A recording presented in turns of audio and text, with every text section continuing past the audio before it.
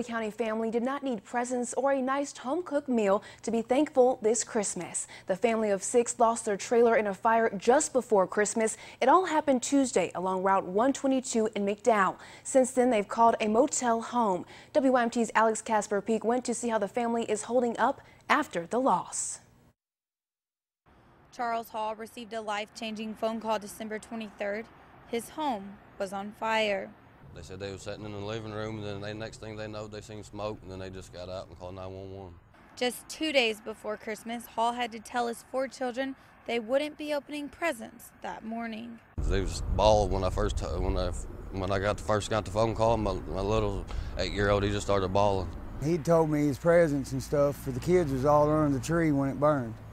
The family celebrated Christmas at a motel, eating gas station food for dinner it had been any time besides Christmas, I just I've never lost nothing like this.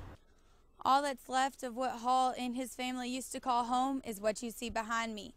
Besides it being around Christmas time, Hall says the worst part about it is losing those pictures he had of his kids when they were little.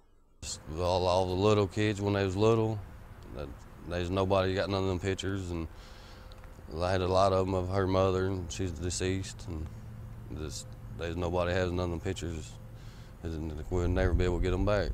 It's it's bad. It's you know uh, to lose your stuff you can't replace. You know, like I said, it's just glad they all got their health and they was you know had each other for Christmas. No one was hurt during the fire, but Hall says everything in the house is now gone from the fire. In Floyd County, Alex Casper Peak, WYMT Mountain News.